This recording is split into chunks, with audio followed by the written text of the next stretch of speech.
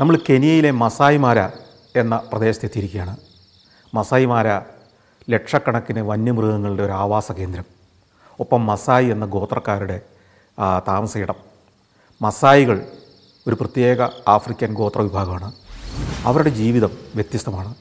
ഇന്നും പ്രാകൃതമായ പ്രാകൃതമെന്ന് നമ്മൾ വിളിക്കുന്ന ആ ഗോത്രശൈലിയിൽ ജീവിക്കുന്ന ആളുകൾ. ഞങ്ങൾ ഇന്നലെ വൈകിട്ടോടെ ഇവിടെ എത്തി. ഇവിടുത്തെ ഈ മസായിമാര വനപ്രദേശത്തെ ഒരു ക്യാമ്പിലാണ് താമസിച്ചത്. ടെന്റുകളുള്ള ഒരു ക്യാമ്പിൽ. ഞങ്ങൾ കിടന്നിറങ്ങിയത് ടെന്റുകളിലാണ് അതിമനോഹരമായ ഒരു അനുഭവമായിരുന്നു അത്. അതിനടുത്ത് തന്നെയുള്ള ചെറിയൊരു ഷെഡ് ഞങ്ങളുടെ അടുക്കളയും റെസ്റ്റോറന്റും ഒക്കെ വേറൊരു ഭാഗത്ത് ടോയ്ലറ്റുകളുടെ പ്രാകൃതമായ ടോയ്ലറ്റുകളുടെ ഒരു കോംപ്ലക്സ്. ഇതിന്റെയൊക്കെ നടുക്കുള്ള ഒരു ചെറിയൊരു മൈതാനത്ത് പുൽമേട്ടിൽ ഞങ്ങൾക്ക് വേണ്ടി പത്തോ പതിനഞ്ചോ ടെന്റുകളുണ്ട് അതിൽ ഞങ്ങൾ എട്ട് പേരാണ് ഇന്നലെ ഒന്നിച്ച് യാത്ര ചെയ്ത് ഇവിടെ എത്തിയത്. വേറെയും ഒന്നോ രണ്ടോ ആളുകൾ അവിടെ താമസിക്കുന്നുണ്ട്. പുലർച്ചെ തന്നെ ഞങ്ങൾ ഗെയിം ഡ്രൈവിന് പോയിട്ട് തിരികെ വന്ന് ഇവിടെ പ്രഭാത ഭക്ഷണം കഴിച്ച് പുറത്തിറങ്ങിയിരിക്കുകയാണ്. അടുത്തത് ഇനി പതിനൊന്ന് മണിക്ക് തന്നെ ഞങ്ങൾ മറ്റൊരു യാത്ര ആരംഭിക്കുകയാണ്. ഇന്ന് രാത്രിയും തിരിച്ചിവിടെ വന്നാണ് താമസിക്കേണ്ടത്. പക്ഷേ എനിക്കൊരു ചെറിയ പ്രശ്നമുണ്ട്. എന്റെ ക്യാമറയുടെ ബാറ്ററികൾ പലതും ചാർജ് തീർന്നു കഴിഞ്ഞു. ഇവിടെ കറണ്ടില്ല. ആകപ്പാടെയുള്ള ഒരു പെട്രോമാക്സിന്റെ വെളിച്ചത്തിലാണ് ഞങ്ങൾ ഇന്നലെ രാത്രി ഭക്ഷണം കഴിച്ചതും ഒക്കെ. പിന്നെ ഞങ്ങളുടെ കയ്യിൽ ടോർച്ചുകളുണ്ട്. ഓരോരുത്തരും ടോർച്ച് കൊണ്ടുവരണമെന്ന് ടോർച്ച് ടോർച്ചുണ്ട്. അതുകൊണ്ടാണ് രാത്രി ടോയ്ലറ്റിൽ പോവുകയോ പുറത്തിറങ്ങുകയൊക്കെ ചെയ്യണമെങ്കിൽ ഞങ്ങൾ ആ വെളിച്ചത്തിലാണ് സഞ്ചരിക്കുന്നത്. അപ്പോൾ എനിക്ക് ബാറ്ററി ചാർജ് ചെയ്തേ പറ്റൂ. അപ്പോൾ നർഗീസ് നേരത്തെ തന്നെ എന്റെ അടുത്ത് പറഞ്ഞിരുന്നു ഇവിടെ അതിനുള്ളൊരു സൗകര്യമുണ്ട്. ഇവിടെ അടുത്ത് തന്നെ ഒരു റിസോർട്ടുണ്ട്. റിസോർട്ട് എന്ന് പറഞ്ഞാൽ ക്യാമ്പുകൾ തന്നെയാണ് ടെന്റുകൾ തന്നെയാണ് അവിടെ ഉള്ളത്. പക്ഷേ അത് കുറച്ചുകൂടെ പരിഷ്കൃതമാണ്. കുറച്ചുകൂടെ സൗകര്യങ്ങളുള്ളതാണ്. അവിടെ ജനറേറ്ററുണ്ട്. അവിടെ വൈദ്യുതി ലഭ്യമാണ്. അതുകൊണ്ട് അവിടെ പോയി ചാർജ് ചെയ്യാം. അപ്പോൾ സക്രിയാസ് യാത്ര പുറപ്പെടുന്നതിന് മുമ്പ് തന്നെ എന്നോട് പറഞ്ഞു നിങ്ങൾക്ക് വേണമെങ്കിൽ ചാർജ് ചെയ്യുക മാത്രമല്ല ഇന്ന് രാത്രി അവിടെ താമസിക്കാം. അതിന് അഡീഷണൽ ആയിട്ട് കുറച്ച് പൈസ കൊടുത്താൽ മതി. ആ പൈസ ഇപ്പോൾ കൊടുക്കണമെന്നില്ല. തിരിച്ച് നെയ്റോബിൽ എത്തിക്കഴിഞ്ഞ് ബെസ്റ്റ് ക്യാമ്പിംഗ് ടൂർ കമ്പനിക്ക് നർഗീസിന്റെ ഓഫീസിൽ ഏൽപ്പിച്ചാലും മതി. അത് വേണമെങ്കിൽ പറഞ്ഞാൽ മതി എന്ന് പറഞ്ഞു. അപ്പോൾ ഇന്നലെ രാത്രിയിലെ ഉറക്കം എനിക്ക് തീരെ ശരിയായിട്ടില്ല. കൊതുക് മുതൽ എല്ലാ പ്രശ്നങ്ങളും. നല്ല ആവി. തന്നെയല്ല ഈ നിലത്ത് നമ്മൾ നട കിടന്ന് അധിക ശീലമില്ലാത്തതുകൊണ്ട് ഒരനുഭവം അത്രയൊക്കെ മതി എന്ന് ഞാൻ തീരുമാനിച്ചു. ഇന്ന് രാത്രി മറ്റൊരനുഭവമാകട്ടെ. ആ റിസോർട്ടിലേക്ക് ഇന്ന് രാത്രി താമസം മാറ്റാം എന്ന് ഞാൻ തീരുമാനിച്ചു. കാരണം എനിക്ക് ബാറ്ററികൾ ചാർജ് ചെയ്യാൻ നാളെയും ദീർഘമായ യാത്രകളാണ്. അപ്പോൾ വഴിക്കെങ്കിലും യാ ചാർജ് ചെയ്യാൻ സമയം കിട്ടിയെന്ന് വരില്ല അപ്പോൾ അങ്ങനെ തീരുമാനിച്ചു. അപ്പോഴത്തേക്കും സക്രിയാസ് എത്തി. മറ്റുള്ളവരെല്ലാം എത്തി. പതിനൊന്ന് മണി സമയമായിരിക്കുന്നു. ഒന്നോ ഒന്നര മണിക്കൂർ നേരമാണ് ഇനി ഞങ്ങൾക്കുള്ള യാത്ര. അത് കഴിഞ്ഞ് ഉച്ചയ്ക്ക് തിരിച്ചെത്തണം. ഇവിടെ ഭക്ഷണം റെഡിയാണ് ലഞ്ച് കഴിക്കണം. അത് കഴിഞ്ഞ് പിന്നെ വൈകുന്നേരം വരെ വിശ്രമമാണ്. കിടന്നുറങ്ങാം. കാഴ്ചകൾ കണ്ട് നടക്കാം. അതാണ് ഇന്നത്തെ ടൈം ടേബിൾ അത് കഴിഞ്ഞ് വീണ്ടും അഞ്ച് മണിയാകുമ്പോൾ വൈകുന്നേരം ഒരു ഡ്രൈ ഗെയിം ഡ്രൈവും കൂടിയുണ്ട്. ആ ഗെയിം ഡ്രൈവിലാണ് വൈകുന്നേരം പുറത്തിറങ്ങുന്ന മൃഗങ്ങളെയൊക്കെ കാണുക. അപ്പോൾ ഇങ്ങനെ സാധാരണഗതിയിൽ ഒരു മൂന്ന് ഗെയിം ഡ്രൈവുകളാണ് ഇത്തരം ക്യാമ്പുകളിൽ ഉണ്ടാവുക. പുലർച്ചെ ഒന്ന് പിന്നെ ഉച്ചയോടെ ഒന്ന് ഉച്ചയ്ക്ക് മുമ്പായിട്ട് തീരത്തൊക്കെ പോലെ ഒന്ന് വൈകുന്നേരം ഒരു ഗെയിം ഡ്രൈവ് അപ്പോൾ ഈ ഉച്ചയ്ക്കത്തേത് ശരിക്കും ഞങ്ങളുടെ ഗെയിം ഡ്രൈവ് എന്നതിനേക്കാൾ ഉപരി പോകുന്ന വഴിക്ക് ധാരാളം മൃഗങ്ങളെ കാണും. പല മൃഗങ്ങളുടെ വാസയിടങ്ങളിലൂടെ കടന്നു പോകുമെങ്കിലും ഞങ്ങളുടെ പ്രധാന ലക്ഷ്യസ്ഥാനം ഈ മസായികളുടെ ഒരു ഗോത്ര ഗ്രാമത്തിലേക്കാണ്. യഥാർത്ഥത്തിൽ മസായികൾ താമസിക്കുന്ന ഒരു ഗോത്ര ഗ്രാമം കാണാനാണ് പോകുന്നത്. കുറച്ച് അകലെയാണത്. അപ്പോൾ ഞങ്ങളെല്ലാവരും വണ്ടിയിൽ കയറി ഞങ്ങൾ യാത്ര ആരംഭിച്ചു. ഈ ചെറിയൊരു കുന്നിന്റെ മുകളിലാണ് ഞങ്ങളുടെ ക്യാമ്പ് എന്ന് പറഞ്ഞാൽ അവിടുന്ന് ഈ നദി കലക്കവെള്ളം ഒഴുകുന്ന നദിയെ ക്രോസ് ചെയ്ത് കഴിയുന്നതോടുകൂടി മൃഗങ്ങളുടെ ഒരു ലോകത്തേക്ക് എത്തുകയായി. യാത്ര തുടരുമ്പോൾ കാണുന്നത് ഇന്നലെ കണ്ടതും ഇന്ന് രാവിലെ കണ്ടതും പോലെയുള്ള നിരവധിയായ മൃഗങ്ങൾ. സീബ്രകളും വിൽഡ് ബീസ്റ്റുകളും മാനുകളും ഒക്കെയാണ് കൂടുതലായിട്ടും കാണുന്നത്. എന്നാൽ സിംഹങ്ങളെയും ചീറ്റകളെയും അതുപോലുള്ള ഹിംസ്രമൃഗങ്ങളെയും ഒക്കെ അപൂർവമായിട്ടേ കാണുള്ളൂ. കാട്ടാനകളെയും കാണണമെങ്കിൽ കുറച്ച് സമയമൊക്കെ നമ്മൾ യാത്ര ചെയ്തുകൊണ്ടിരിക്കണം. അങ്ങനെ കുറേ ദൂരം ഈ മൃഗങ്ങളുടെ കാഴ്ച അത്ര കൗതുകമുള്ള അല്ലാതായി മാറി. കാരണം ഇവരെയാണ് കാണുന്നത് ഇന്നലെ മുതൽ. ഇന്നിപ്പോൾ രാവിലത്തെ ഗെയിം ഡ്രൈവ് കൂടെ കഴിഞ്ഞതോടുകൂടി ആളുകൾക്ക് ഇതിലുള്ള എക്സൈറ്റ്മെന്റ് ഒക്കെ ഒന്ന് കുറഞ്ഞു എന്ന് എനിക്ക് മനസ്സിലായി. നേരത്തെ അങ്ങനെയല്ല. ആദ്യം ഒരു സിംഹത്തെ കാണുമ്പോഴത്തേക്കും സായിപ്പുമാരെല്ലാം എഴുന്നേറ്റ് വാവ് അതിശയ ശബ്ദങ്ങളൊക്കെ പുറപ്പെടുവിക്കുമായിരുന്നു ഇപ്പോൾ അതൊന്നുമില്ല. ശാന്തമായി. ഞങ്ങൾ അങ്ങനെ കുറേ ഓടി ഒരു കുന്നിന്റെ ഒരു ചെറിയ അല്പം ഉയർന്നു നിൽക്കുന്ന ഒരു കുന്നിന്റെ ഭാഗത്തേക്ക് വണ്ടി ഓടിച്ച് ചെല്ലുമ്പോൾ ആദ്യം കാണുന്നത് മുൾപ്പടർപ്പ് കൊണ്ടുള്ളൊരു വേലിക്കെട്ടാണ്. അതായത് നമ്മുടെ നാട്ടിലൊക്കെ വേലി കെട്ടുന്ന പോലെ കുറ്റിയടിച്ച് കമ്പ് വലിച്ചു കെട്ടി അതിന്മേൽ എന്തെങ്കിലും കെട്ടി വെക്കുകയൊന്നുമല്ല നമ്മുടെ നാട്ടിലെ സാധാരണ ഈ കാട് പിടിച്ച് കിടക്കുന്ന ഭാഗത്ത് വളരുന്ന ചില കാരമുള്ളെന്നൊക്കെ പറഞ്ഞ മുള്ളുകളുണ്ട്. അതായത് മുൾച്ചെടിയാണ് അത് വെട്ടിയിട്ട് കഴിഞ്ഞാൽ ഒരു മൂന്നാലഞ്ച് ദിവസം കൊണ്ട് ഇല കൊഴിഞ്ഞു കഴിഞ്ഞാൽ അത് നിറയെ മുള്ള് മാത്രമുള്ളതായിരിക്കും. ഏകദേശം ഒരു ഒരു ഇഞ്ച് ഒന്നര ഇഞ്ച് നീളമുള്ള മുള്ളുകൾ മാത്രമുള്ള ചെടികളുണ്ടായിരുന്നു. ഇപ്പോൾ അത് പലർക്കും പുതിയ തലമുറയുള്ളവർക്ക് കണ്ടിട്ടുണ്ടാവണമെന്നില്ല. അത്തരത്തിലുള്ള ഈ മുള്ള് മാത്രമുള്ള ചെടികൾ ചെ ചുവടെ മുറി വെട്ടിക്കൊണ്ടുവന്ന് ഇങ്ങനെ അടുക്കി അടുക്കി അടുക്കി ചേർത്ത് ചേർത്ത് വെച്ചിരിക്കുക. അത് ഏതാണ്ട് ഒരു ഒരു നാലടി നാലര അടി ഉയരത്തിൽ ഇങ്ങനെ ചേർത്ത് വെച്ചിരിക്കുക. അതിനെ കെട്ടിയിട്ട് പോലുമില്ല. ഇങ്ങനെ അടുക്കിയിട്ടിരിക്കുന്നു അങ് അതിന്റെ ഒരു സ്ഥല സമീപത്താണ് വണ്ടി കൊണ്ടുപോയി നിർത്തുന്നത്. അപ്പോൾ ഈ മുൾവേലി മുൾവേലിക്ക് ഇടയ്ക്കൊരു ഗ്യാപ്പുണ്ട്. അതിനുള്ളിൽ അകത്തേക്ക് കയറുമ്പം അകത്തേക്ക് കയറാം. അകത്ത് കുറേ വീടുകളാണ്. ഈ വീടുകളെന്ന് പറഞ്ഞാൽ വട്ടത്തിലിരിക്കും. അതായത് നമ്മുടെ പഴയ ഒരു ചോറ്റുപാത്രം കമഴ്ത്തി വെച്ചതുപോലെ സ്കൂളിലൊക്കെ ചോറ് കൊണ്ടുപോകുന്ന വട്ടത്തിലുള്ള പാത്രം ഉണ്ടല്ലോ അതെടുത്ത് കമഴ്ത്തി വെച്ചതുപോലെ ഏകദേശം ഒരു പതിനഞ്ചടി പത്തടി പതിനഞ്ചടിയൊക്കെ റേഡിയസ് ഉള്ള ഒരു ഒരു വൃത്താകാരത്തിലുള്ളൊരു സാധനം. അതിനൊരു പരമാവധി ഒരു ആറര അടി ഏഴടി വരെയാണ് ഉയരം. നല്ല പൊക്കമുള്ളൊരു മസായിക്കാരൻ അതിനകത്ത് കയറണമെങ്കിൽ അല്പം ഒന്ന് കുനിഞ്ഞിട്ട് കയറണം. ഈ വട്ടത്തിലുള്ള ഈ വീടിന്റെ ചുമര് മുഴുവൻ ചെളിയും ചാണകവും കൊണ്ട് പൊതിഞ്ഞിരിക്കും. അതായത് കുറ്റിയടിച്ച് അത് വട്ടത്തിലിങ്ങനെ കുറ്റിയടിച്ച് അതേ കൂടെ വള്ളികളും കനം കുറഞ്ഞ മരങ്ങളും കമ്പുകളും ഒക്കെ വെച്ച് കെട്ടി അതിങ്ങനെ വട്ടത്തിൽ ഒരു ഒരു കൊട്ട പോലെ തന്നെ മെനഞ്ഞെടുക്കും നെയ്തെടുക്കും. എന്നിട്ട് അതിന്റെ മേൽക്കൂരയായിട്ട് ഇതേപോലെ കമ്പുകൾ നിരത്തി ഇടും. എന്നിട്ട് ഇതിന് പുറമേ കൂടി മണ്ണും ചാണകവും കൂടെ കുഴച്ച് തേച്ച് പിടിപ്പിച്ചിരിക്കുകയാണ്. അപ്പോൾ അതായത് മണ്ണും ചാണകവും കൊണ്ട് പൊതിഞ്ഞുണ്ടാക്കിയ ഒരു ഒരു ഒരു വീട് ഒരു ഒരു കമഴ്ത്തി വെച്ച ഒരു കൊട്ട എന്ന് വേണേൽ പറയാം. അപ്പോൾ ഇതിന്റെ അകത്തേക്ക് കയറാൻ ഒരു ചെറിയ വാതിലുണ്ട്. അതിലൂടെ കയറിയാൽ ഈ ഒച്ചിന്റെ തോട് പോലെയാണ് ഇങ്ങനെ കയറി സൈഡിൽ കൂടി ഇങ്ങനെ വളഞ്ഞ് വളഞ്ഞ് ചെന്ന് അകത്തേക്ക് കയറുക. അല്ലാതെ നേരിട്ട് അതിനകത്തോട്ട് മുറിക്കകത്തേക്ക് കയറാൻ പറ്റില്ല.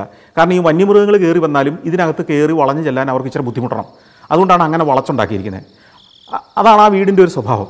ഇത്തരത്തിലുള്ള എട്ടോ പത്തോ പതിനഞ്ചോ വീടുകൾ ഈ ഒരു വേലിക്കുള്ളിലുണ്ടാവും ചിലതിൽ നാലോ അഞ്ചോ വീടുകളെ ഉണ്ടാവുള്ളൂ. ഇത്തരത്തിലൊരു വേലിക്കുള്ളിലെ ഒരു വീട് എന്ന് പറയുന്നത് ഒരു ഗൃഹനാഥനും അയാളുടെ ഭാര്യമാരും കുട്ടികളും താമസിക്കുന്ന ഒരു പ്രദേശമായിരിക്കും.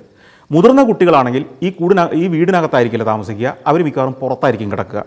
മഴയില്ലാത്ത സമയത്ത്. മഴയുള്ളപ്പോൾ ഇവർ ഏതെങ്കിലും ഒരു വീടിനകത്ത് മുതിർന്നവർ കയറി കിടക്കും.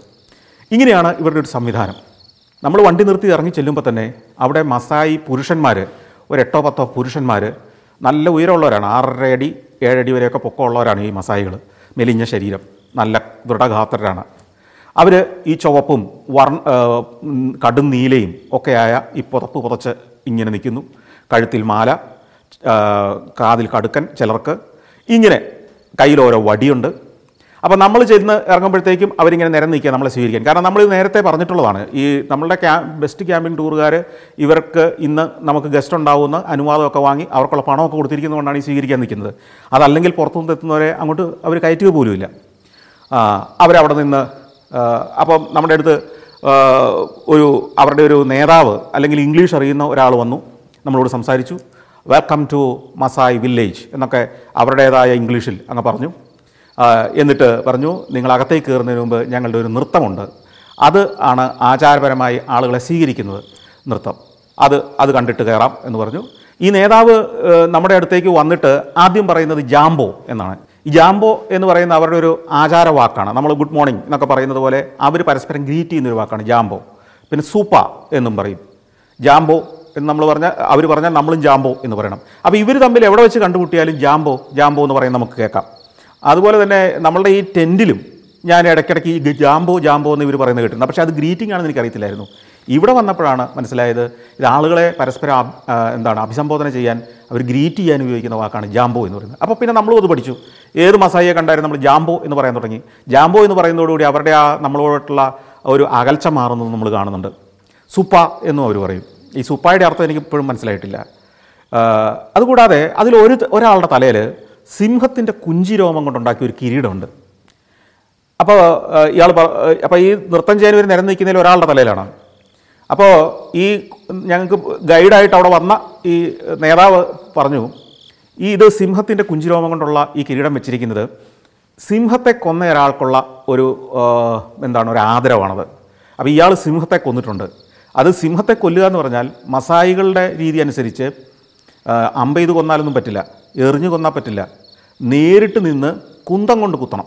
അതായത് ഈ ഗോത്രവർഗക്കാരുടെ ഒക്കെ ഒരു രീതി എന്ന് വെച്ച് കഴിഞ്ഞാൽ ധീരതയ്ക്ക് വലിയൊരു അംഗീകാരം കൊടുക്കുന്ന സമൂഹമാണ് അവർ അതുകൊണ്ട് തന്നെ സിംഹത്തെയാണെങ്കിലും മറ്റൊരു ഗോത്രത്തിൽപ്പെട്ട ആളെയാണെങ്കിലും കൊല്ലുകയാണെങ്കിൽ അമ്പും വില്ലും ഉപയോഗിക്കുന്ന പരിപാടിയൊന്നും അവർക്കില്ല. അതൊക്കെ ഭീരുക്കളുടെ ആയുധമായിട്ടാണ് പറയുന്നത്. അകലെ നിന്ന് ആർക്കാണ് എറിഞ്ഞ അമ്പ ചെയ്ത ഒരാളെ കൊള്ളാൻ കൊല്ലാൻ മേലാത്തത്? നേരിട്ട് അടുത്തടുത്ത് നിന്ന് കുന്തം കൊണ്ട് കുത്തിക്കൊല്ലണം. അപ്പോൾ അങ്ങനെ സിംഹത്തെ കുന്തം കൊണ്ട് കുത്തിക്കൊന്ന ഒരു ഹീറോയാണ് ഈ സിംഹത്തിന്റെ കുഞ്ചിരോമം കൊണ്ടുള്ള കിരീടമൊക്കെ ധരിച്ചു വെച്ചിരിക്കുന്നത് നിൽക്കുന്നത്. രസം എന്താണെന്ന് വെച്ച് കഴിഞ്ഞാൽ ഇത്തിരി കഴിഞ്ഞപ്പോൾ ഞങ്ങൾ കൂടെ ഒന്ന് ഫോട്ടോ ഒക്കെ എടുക്കാൻ തുടങ്ങി കഴിഞ്ഞപ്പോൾ ഈ കുഞ്ചിരോമം നോടിയാക്കിയുടെ തല വരെ വെച്ച് കൊടുത്തു. എന്ന് വെച്ചാൽ ധീരന്മാർ വെക്കുന്ന കിരീടവും വെച്ച് നോടിയാക്കി നിൽക്കുന്ന കണ്ടപ്പോൾ എനിക്ക് ചിരി വന്നു. അവിടുത്തെ ഏറ്റവും പേടി കാരണം അങ്ങേര ഈ കൂടെ ഉള്ളതിലെ. ഞാനും മോശമായിരുന്നില്ല. അത് കഴിയുമ്പോഴത്തേക്ക് ഒരു പാട്ട് തുടങ്ങി ഇവർ ഈ പാട്ട് എന്ന് പറഞ്ഞാൽ വാക്കുകളുള്ള പാട്ടല്ല. ഒരുതരം മൂളലും ഞരങ്ങലും എല്ലാം കൂടെ ചേർന്നിട്ടുള്ള ഒരു പാട്ടാണ്. ഇത് വളരെ രസമാണത്. അതായത് മൃഗങ്ങളുടെ ശബ്ദങ്ങളെ അനുകരിക്കുന്ന പോലെ തോന്നുന്നു. ഈ വിൽഡ് ബീസ്റ്റ് എന്ന് പറയുന്ന മൃഗത്തിന്റെ മുക്രയിടുന്ന ശബ്ദം പോലെ ഏതാണ്ട് സമാനമാണ് ഇവരുടെ ഈ ശബ്ദങ്ങൾ എനിക്ക് തോന്നി. അത് താളത്തിൽ ഇങ്ങനെ കുറേ പാടിക്കൊണ്ടിരിക്കും. അപ്പോൾ അതിന്റെ കൂടെ ഇങ്ങനെ മുമ്പോട്ടും പിന്നോട്ടും ആടിക്കൊണ്ടിരിക്കും. അതാണ് കുറേ നേരം. അത് കഴിഞ്ഞിട്ട് അടുത്തതായിട്ട് ഇവർ ചാടാൻ തുടങ്ങും. നിന്ന നിപ്പിൽ മുകളിലേക്ക് ചാടുകയാണ്. നല്ല ഉയരത്തിൽ ചാടും. ചിലർ നാലടി അഞ്ചടി വരെയൊക്കെ ഉയരത്തിൽ നിന്ന് നിപ്പി ചാടുന്ന മസായകളുണ്ട്. അതായത് ഓടി വന്ന് ചാടുന്ന കാര്യമല്ല പറഞ്ഞത് നിൽക്കുന്നിടത്ത് ചാടുക. ഇങ്ങനെ ചാടിക്കൊണ്ടേയിരിക്കും. അതൊരു തരം പരിപാടി. ഈ സമയത്ത് തന്നെ ഇതിന്റെ നേരെ എതിർവശത്ത് ഈ മൈതാനത്തിന്റെ നേരെ എതിർവശത്ത് കുറേ സ്ത്രീകൾ ഇതേപോലെ തന്നെ നിരന്ന് നിൽക്കുന്നുണ്ട് അവരും അപ്പോഴേക്കും അവിടെ പാട്ട് തുടങ്ങി. വാക്കുകളൊന്നും അധികം ഇല്ലാത്ത ഒരു തരം പാട്ടാണ്. അത് മുമ്പോട്ടും പിന്നോട്ടും ആഞ്ഞുകൊണ്ട് പാടാൻ തുടങ്ങുന്നത്. അവരും ആറേഴെട്ട് പേര് ഇങ്ങനെ നിരന്ന് നിൽക്കുന്നുണ്ട് വർണപ്പകിട്ടുള്ള വസ്ത്രം കഴുത്തിൽ ഈ മുത്തുമാലകൾ കളർഫുള്ളാണ് ലോകത്ത് ഏറ്റവും കളർഫുള്ളായിട്ട് വസ്ത്രം ധരിക്കുന്ന ഒരു ഗോത്ര വിഭാഗം മസായികളായിരിക്കും. ഇത്ര റിച്ചായ കളർഫുള്ളായ സൗന്ദര്യബോധമുള്ള കലാബോധമുള്ള വസ്ത്രം ആഭരണങ്ങളും ധരിക്കുന്ന ഗോത്രവർഗക്കാരെ ഞാൻ അധികം കണ്ടിട്ടില്ല. അവരുടെ രൂപം അവരുടെ മൊട്ടത്തല ഈ കഴുത്തിലെ ആഭരണങ്ങൾ കാതിലെ ആഭരണങ്ങൾ അവരുടെ വസ്ത്രത്തിന് നിറം ഇതിൽ കയ്യിലെ വടി ഇതെല്ലാം കൂടെ കൂടി ഒരു ക്ലാസിക് രൂപമാണത്. അത് എത്ര നൂറ്റാണ്ട് മുമ്പ് അത് ഡിസൈൻ ചെയ്തതാണെങ്കിലും അതൊരു യഥാർത്ഥ കലാകാരൻ ഡിസൈൻ ചെയ്തത്. അല്ലെങ്കിൽ ആ കലാബോധത്തോടെ ഡിസൈൻ ചെയ്തതാണ്. ഇവരുടെ ഈ- ഈ മുള്ളുവേലിക്കകത്തെ ഈ ഗ്രാമത്തിന്റെ പേര് തന്നെ ബോമ എന്നാണ് അറിയപ്പെടുന്നത്. ബോമകൾ. ഓരോ ബോമയിലും ഒരു കുടുംബമാണ് സാധാരണഗതി വസിക്കുക. ഒരു അപ്പനുണ്ടാവും ഒരു കാരണവരുണ്ടാവും അങ്ങേരുടെ പല ഭാര്യമാരുണ്ടാവും അവർക്ക് പല മക്കളുണ്ടാവും. കൊച്ചു കുട്ടികളായിരിക്കുമ്പം ഈ മക്കൾ ഈ അമ്മയോടൊപ്പം ഓരോ വീട്ടിൽ താമസിക്കും. ഓരോ വീട് ഓരോ ഭാര്യമാർക്കുള്ളതാണ്. ഏതായാലും ഈ സ്ത്രീകളുടെ നൃത്തം നൃത്തമല്ല അവർ ഇങ്ങനെ ആടിക്കൊണ്ടുള്ളൊരു പാട്ടാണ്. അത് കുറേ നേരം തുടർന്നു. കുറേ നേരമല്ല അതൊരു പശ്ചാത്തല സംഗീതം പോലെ ഫുൾ ടൈം ഉണ്ടായിരുന്നു. ഞങ്ങൾ അതിലൂടെ സഞ്ചരിച്ച സമയത്തൊക്കെ ഏതാണ്ട് അവിടെ ഉണ്ടായിരുന്ന സമയം മുഴുവൻ ഇവരുടെ ഈ ഈ പാട്ട് ഉണ്ടായിരുന്നു വേണേൽ പറയാം. ഇത്തിരി കഴിഞ്ഞപ്പോഴത്തേക്ക് ഇവരുടെ ഈ ഈ നർത്തകരുടെ ചാട്ടം നിന്നു. അത് കഴിഞ്ഞ് അവർ നമുക്ക് ചുറ്റും വന്നു. ഇനി നമുക്ക് ബോമയ്ക്കകത്തേക്ക് കയറാം എന്ന് പറഞ്ഞു. മാത്രമല്ല ഇവരുടെ ചില രീതികൾ ഇവരുടെ ജീവിതത്തിന്റെ ചില പ്രത്യേകതകളൊക്കെ നമ്മളെ കാണിച്ചു തരും. അപ്പം നമ്മുടെ കൂടെയുള്ള സക്രിയാസ് ഉണ്ട്. സക്രിയാസ് ആണ് പറഞ്ഞു കൊടുക്കുന്നത്. ഇവർ തമ്മിൽ കമ്മ്യൂണിക്കേഷൻ നടത്തുന്നുണ്ട്. ഇന്നത് കാണിക്കുക അത് കാണിക്കുക ഇത് കാണിക്കുക എന്നൊക്കെ സക്രിയാസ് പറയുന്നുണ്ട്. അതിലൊരു പരിപാടി എന്താ വെച്ച് കഴിഞ്ഞാൽ ഇവരുടെ ഒരു ട്രംപറ്റുണ്ട് ഒരു കുഴലുണ്ട്. അതായത് ഇവർ സിംഹത്തെയൊക്കെ കൊന്ന് വരുമ്പോൾ ഈ വീരനെ സ്വീകരിക്കാനും ആദരിക്കാനും വേണ്ടി ഒരു സംഗീതോപകരണം മുഴക്കും. ഒരു ട്രംപറ്റ് പോലത്തെ ഒരു ഒരു കുഴൽവിളിയാണ്. അത് കാട്ടുപോത്തിന്റെ മറ്റേ കൊമ്പാണ്.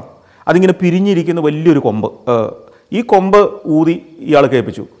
അത് കഴിഞ്ഞ് പിന്നെ ഇവർ തീ ഉണ്ടാക്കുന്ന വിദ്യ. ഇപ്പോൾ തീപ്പെട്ടിയുണ്ട് ലൈറ്ററൊക്കെ ഉണ്ട്. പക്ഷേ ഇവർ പരമ്പരാഗതമായിട്ട് തീ ഉണ്ടാക്കിക്കൊണ്ടിരുന്നത് നമ്മുടെ പണ്ടത്തെ ഭാരതത്തിലെ ആളുകൾ തീ ഉണ്ടാക്കിയിരുന്നത് പോലത്തെ തന്നെയാണെന്ന് എനിക്ക് മനസ്സിലായി. അതായത് ഒരു മരക്കമ്പിൽ മറ്റൊരു മരക്കമ്പ് ഇങ്ങനെ ഉരച്ചൊരച്ചൊരച്ച് ആ, പയ്യെ പയ്യെ തീ ഉണ്ടാകുന്നു അവിടെ ഈ എന്താണ് ഈ ഇലകൾ ചതച്ച് ഇലകളും ഈ ചെറിയ കമ്പുകളും ഒക്കെ ചതച്ച് ഒരു ചകിരി പോലെയാക്കി അത് ഇതിന്റെ മുകളിൽ വെച്ച് തീ പിടിപ്പിച്ചെടുക്കുന്നു. അങ്ങനെ തീ കത്തിച്ചെടുക്കുന്ന വിദ്യയൊക്കെ കാണിച്ചു തന്നു. അത് കഴിഞ്ഞ് പിന്നെ ഞങ്ങൾ ഈ ബോമയ്ക്കകത്തേക്ക് കയറി വീട് കാണണം. ഞങ്ങൾ ഓരോരുത്തരും ഈ വീടിന്റെ അകത്ത് ചെന്ന് കയറി. അപ്പോൾ നമുക്ക് ഇഷ്ടമുള്ള വീട്ടിൽ ചെന്ന് കയറാം. ആ സ്ത്രീകളും കുട്ടികളൊക്കെ പുറത്താണ്. ചിലതിനകത്ത് കുട്ടികളുണ്ട്. ഞാൻ ഈ പറഞ്ഞ പോലെ ഈ ഒരു ഒരു ബോമയ്ക്കകത്തേക്ക് കയറുമ്പോഴാണ് ഈ ഒച്ചിന്റെ തോട് പോലെ അതിനെ ഇങ്ങനെ ചുറ്റി ചുറ്റി അകത്തേക്ക് കയറണം. അത് നേരെ ഇതിനകത്തോട്ട് കിടക്കാൻ പറ്റില്ല. അതിന്റെ ഒരു ഭാഗത്ത് ഒരടുപ്പുണ്ടാവും പിന്നെ കിടക്കാനുള്ളൊരു ഭാഗമുണ്ട്. ചിലതിൽ കിടക്കുന്നിടത്ത് ഒരു ചെറിയ തട്ട് പോലെ ഒരല്പം ഉയർത്തി മണ്ണ് കൊണ്ട് കെട്ടി വെച്ചിട്ടുണ്ട്. ചിലതിൽ അതുമില്ല വെറുതെ എന്തൊക്കെയോ വിരിച്ചിട്ടിട്ടുണ്ട്. അതേ ഉള്ളൂ. അപ്പോൾ ഇതാണ് ഇവരുടെ സമ്പാദ്യം. ഇതിന്റെ പ്രത്യേകത എന്താ വെച്ച് കഴിഞ്ഞാൽ ഈ ബോമകൾ അല്ലെങ്കിൽ ഇത്തരം ഗ്രാമങ്ങൾ അല്ലെങ്കിൽ ഇത്തരം ആ, ആ, താമസ ഇടങ്ങൾ സ്ഥിരമായിട്ടുള്ളതല്ല. ഇവർ ഈ ഞാൻ നേരത്തെ പറഞ്ഞല്ലോ ഗ്രേറ്റ് മൈഗ്രേഷനെ കുറിച്ച്. ഈ ഗ്രേറ്റ് മൈഗ്രേഷൻ നടക്കുന്നത് കൂടെ പോലെ തന്നെ ഇവരും ഇങ്ങനെ സഞ്ചരിച്ചുകൊണ്ടിരിക്കും. ഈ മസായികൾ സഞ്ചരിച്ചുകൊണ്ടിരിക്കും. ഈ മസായികളും ഈ മൃഗങ്ങളെ പോലെ തന്നെയാണ് സഞ്ചരിക്കുന്നത്. അതായത് കെനിയയിലെ മസായികൾ പച്ചപ്പുല്ല് തേടി ടാൻസാനിയയിലേക്ക് പോയെന്നിരിക്കും. മൃഗങ്ങളെ പോലെ തന്നെ. അവിടെ ഈ രണ്ട് രാജ്യങ്ങളും ഇവരുടെ യാത്രയെ അനുവദിച്ചിരിക്കുക. അവർക്ക് അവരുടെ ഭൂഭാഗമാണ് നൂറ്റാണ്ടുകൾ അല്ലെങ്കിൽ ആയിരക്കണക്കിന് വർഷങ്ങളായിട്ട് ഈ പ്രദേശം. രാഷ്ട്രങ്ങളൊക്കെ ഇന്നലെ ഉണ്ടായതാണ്. ആ രാഷ്ട്രങ്ങളും ഇവരുടെ യാത്രയെ തടസ്സപ്പെടുത്താൻ അനുവദിക്കില്ല. കാരണം വെച്ച് കഴിഞ്ഞാൽ ഇവർ പിന്നെ അല്ലെങ്കിൽ അടുത്ത പോരാട്ടം തുടങ്ങുകയായി. അപ്പോൾ അതുകൊണ്ട് തന്നെ കെനിയയിൽ നിന്ന് മസ് താൻസാനിയിലേക്കും താൻസാനിയിൽ നിന്ന് കെനിയയിലേക്കും ഈ മസായികൾക്ക് സഞ്ചാര സ്വാതന്ത്ര്യമുണ്ട്. അവർ ഈ കാളകളെയും പശുക്കളെയും വളർത്തിയാണ് ജീവിക്കുന്നത്. അവരുടെ ഭക്ഷണം തന്നെ വിചിത്രമായൊരു ഒരു സംഭവമാണ്. അതായത് അവർ ധാന്യം കൊണ്ടുള്ള ഭക്ഷണമൊന്നും കഴിക്കില്ല. ഇപ്പോൾ ഈ അടുത്ത കാലത്തൊക്കെ അതിൽ മാറ്റം വന്നിട്ടുണ്ടാവാം. പക്ഷേ ഞാൻ പോകുന്ന സമയത്ത് പോലും ഇവരുടെ പ്രധാന ഭക്ഷണം എന്ന് പറയുന്നത് കാളച്ചോരയും പച്ച മാംസവുമാണ് വേറെ ഒരു സാധനം അവർ കഴിക്കുകയില്ല. കാളച്ചോര അതായത് കാളയുടെ കഴുത്തേൽ ഏതോ ഒരു ഒരു രക്തക്കുഴലുണ്ട്. അത് അവർക്ക് കൃത്യം അറിയാം. അവിടെ ചെറിയൊരു ദ്വാരം ഉണ്ടാക്കും. അതിലൂടെ ചോ നല്ല ചോര ചൂട് ചോര ഇങ്ങനെ ചീറ്റി വരും. അതൊരു പാത്രത്തിൽ ശേഖരിക്കും. അത് കഴിക്കും. ഈ കാളയ്ക്കൊന്നും സംഭവിക്കുകയില്ല. കുറച്ച് ചോര എടുത്തു കഴിഞ്ഞിട്ട് എന്തോ അടച്ചു വെക്കും. കാള കാളയുടെ വഴിക്ക് പോവും. കാളയ്ക്കധികം വേദനയൊന്നും എടുക്കില്ല. പിന്നെ കാളകളും പശുക്കളും ധാരാളം ഇവർക്കുണ്ട്. ഇതുകളെ മേയിച്ചാണ് ഇവ ഇതിന്റെ പാലെടുത്ത് ഇവർ അധികം കുടിക്കുന്നില്ല. പക്ഷേ ഇപ്പോഴത്തെ കാലത്ത് ഇവരിൽ നിന്ന് പാൽ വാങ്ങുന്നുണ്ട് ആളുകൾ അതുകൊണ്ട് അതിൽ നിന്ന് വരുമാനം ഉണ്ടാകുന്നുണ്ട്. മറ്റേത് ഇവരിങ്ങനെ മാംസത്തിന് വേണ്ടിയാണ് ശരിക്കും പറഞ്ഞാൽ ഇവരെ വളർത്തിക്കൊണ്ടിരുന്നത്. ഈ മൃഗങ്ങളുടെ മാംസമാണ് ഇവരുടെ ഭക്ഷണം. ഈ കെനിയയിൽ തന്നെ ഏകദേശം അരലക്ഷത്തിലേറെ മസായികളുണ്ടെന്നാണ് കണക്ക്.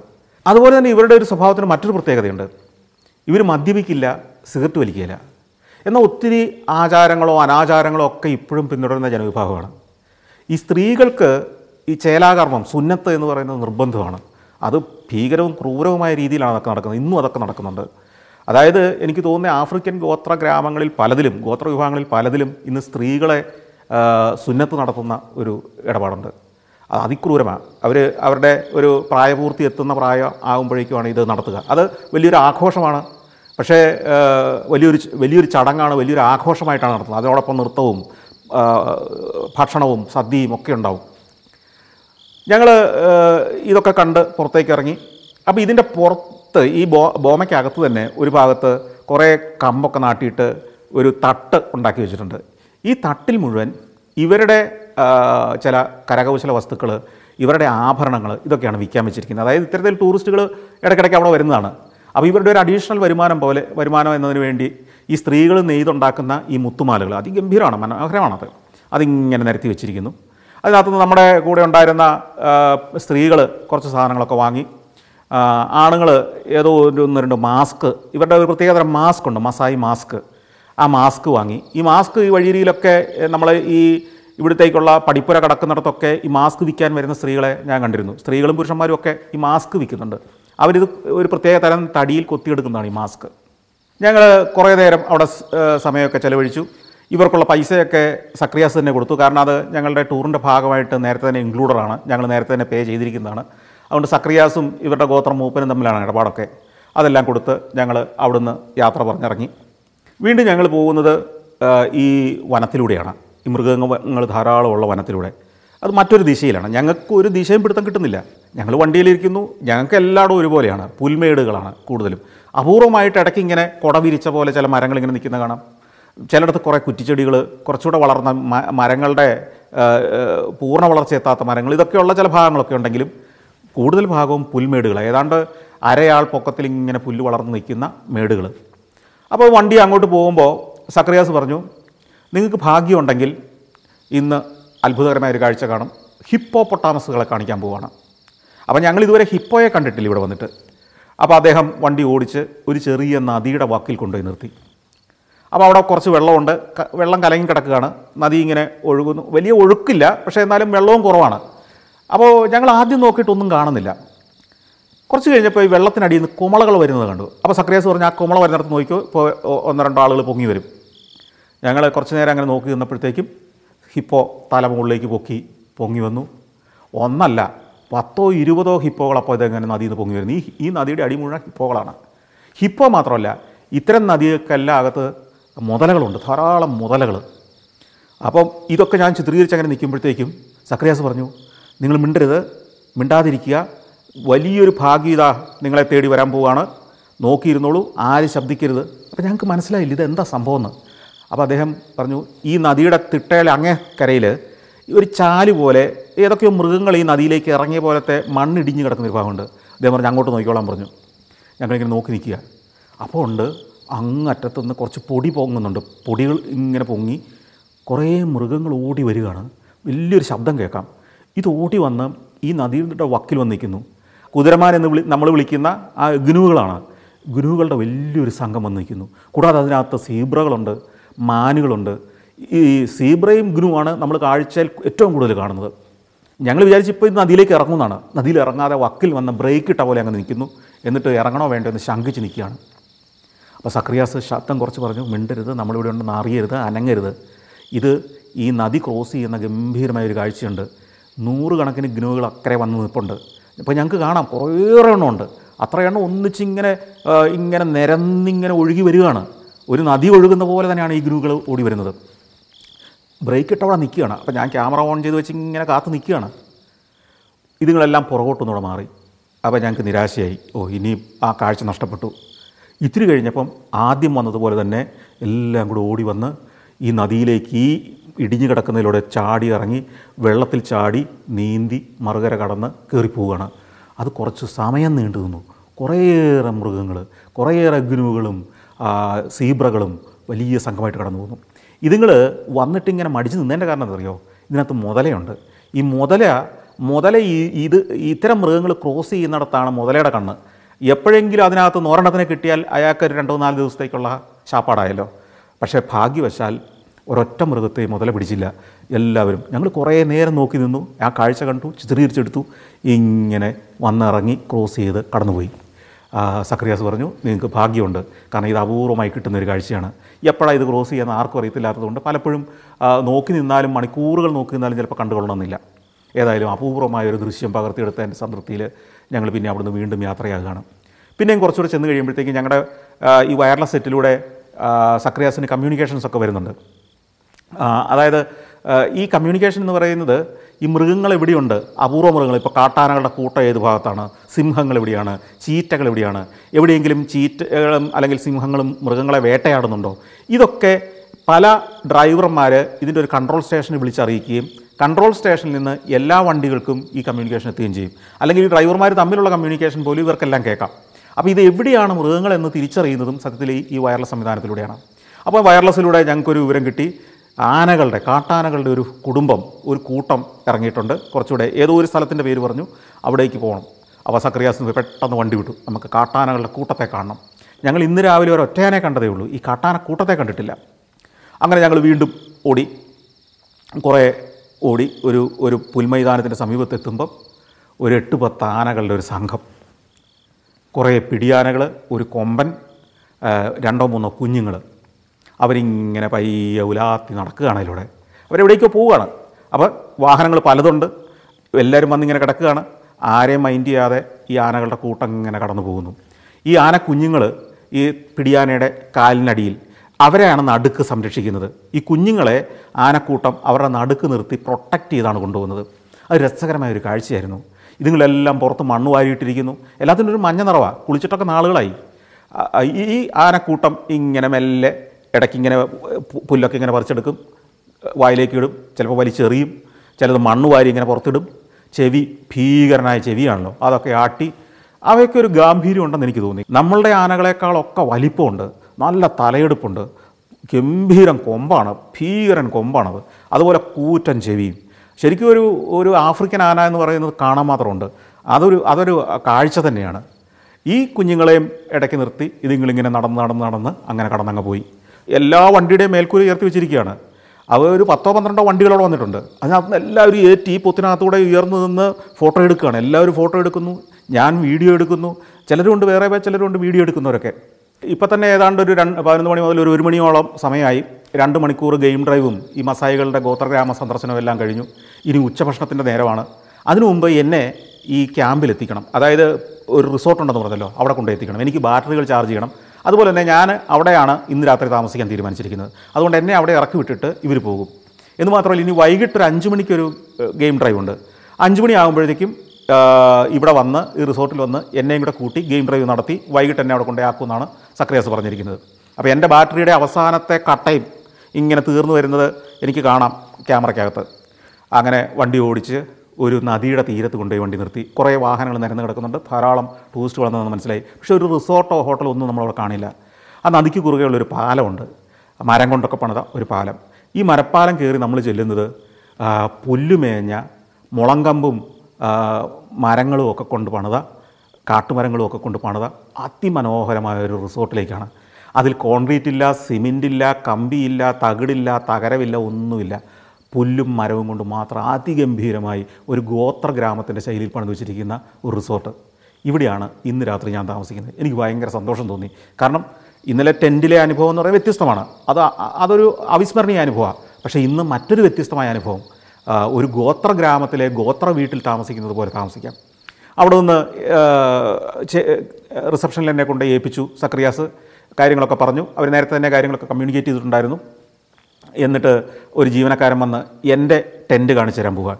റിസപ്ഷന് ഒക്കെ ഉൾപ്പെടുന്ന പ്രധാന കെട്ടിടം പുല്ലുമേഞ്ഞ തടി കൊണ്ട് അതിനെ മിനുക്കുകയോ ഒന്നും ചെയ്യാതെ പ്രാകൃത രൂപത്തിൽ തന്നെ എന്നാൽ കലാപരമായി പെർഫെക്ഷനോടുകൂടി പണിതിരിക്കുന്ന ഗംഭീരനൊരു ഒരു വലിയ കെട്ടിടമാണ് ഈ റിസപ്ഷനും അതിനടുത്തുള്ള ബാറും അതിനടുത്തുള്ള റെസ്റ്റോറന്റും എല്ലാം കൂടെ ചേർന്ന പ്രധാന കെട്ടിടം. അവിടെ ഒന്ന് കുറച്ച് ദൂരം നടന്നു വേണം നമുക്ക് താമസിക്കാനുള്ള ടെന്റിലേക്ക് എത്താൻ. നിരവധി ടെന്റുകളുണ്ട് ഈ ടെന്റുകൾ എന്ന് പറഞ്ഞാൽ നമ്മൾ താമസിച്ചാലും ചെറിയ ടെന്റല്ല വലിയ ടെന്റാണ് അതായത് ഒരു ഹോട്ടൽ മുറിയോളം വലിപ്പമുള്ള വലിയ ടെന്റ് അതിന്റെ ഫ്രണ്ടിൽ കൊതുകുവല ഇട്ടിട്ടുണ്ടാവാം. ആ ആ ടെന്റിന്റെ ഒരു പാളി അങ്ങ് മാറ്റിക്കഴിഞ്ഞാൽ കൊതുകുവലയാണ്. ആ കൊതുകുവലയും കൂടെ തുറന്നേ നമുക്ക് അകത്ത് കയറാൻ പറ്റുള്ളൂ. അകത്ത് ഫാനുണ്ട് അകത്ത് കറണ്ടുണ്ട് കുടിക്കാൻ വെള്ളമുണ്ട് നല്ല കട്ടിലുണ്ട് സുന്ദരമായ സ്ഥലം. ഇന്നലെ രാത്രി ഞാൻ കാര്യമായിട്ട് ഉറങ്ങിയിട്ടില്ല. അപ്പോൾ ഇനി അഞ്ച് മണി വരെ സമയമുണ്ട്. ഉച്ചഭക്ഷണം ഇവിടെ കഴിക്കുകയും ചെയ്യാൻ വേണമെങ്കിൽ. എപ്പോൾ വേണമെങ്കിലും പോയാൽ ഒരു നാലര വരെ ഉച്ചഭക്ഷണം അവിടെ ലഭിക്കും എന്ന് എന്നെ ഇവിടെ കൊണ്ടുവന്ന് മുറിയിലാക്കിയ അവിടുത്തെ ജീവനക്കാരൻ പറഞ്ഞു. അപ്പോൾ ഞാൻ ബാഗൊക്കെ കൊണ്ടുപോയി വെച്ച് ബാറ്ററിയൊക്കെ വൺ ബൈ വൺ ആയിട്ട് ചാർജ് ചെയ്യാനിട്ട് അവിടെ കണ്ട കട്ടിലിലേക്ക് കയറിയാൻ കിടന്നു. സുഖകരമായ ഒരു ഉറക്കത്തിലേക്ക് വീണു.